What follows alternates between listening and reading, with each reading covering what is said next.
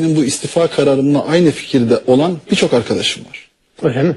Bunu çok net söyleyebilirim. Milletvekilleri içerisinde. Tabii tabii. Milletvekili, bakanlarımız, beni arayanlar Bu çarpıcı iddiayla bozdu sessizliğini. AK Parti'den istifa eden Hakan Şükür kararı kendim verdim dedi. Fethullah Gülen'le yaptığı görüşmeyi anlattı. istişare etmem gerektiğinde birkaç kere Hoca Efendi'yi aradım.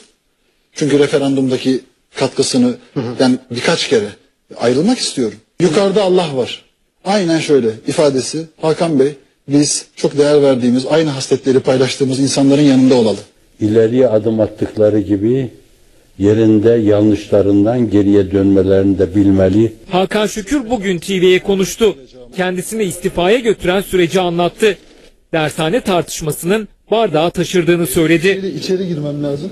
Dershaneler noktası benim futboldan sonra e, en iyi bildiğim, en iyi tanıdığım arkadaşlarımın olduğu, 20 senedir içinde olduğum e, ve bununla da ilgili birçok kere e, ifade etmeye çalıştığım görüşlerin değer bulmamasıyla alakalı bir finale doğru götürdü beni. İstifa mektubu ile ilgili iddiaları da yanıt verdi. Mektubu kendim kaleme aldım dedi. AK Parti Genel Başkan Yardımcısı Mehmet Ali Şahin, Şükür'ün emir aldığını iddia etmişti. Bana emrettiler. Ben AK Parti'ye geldim.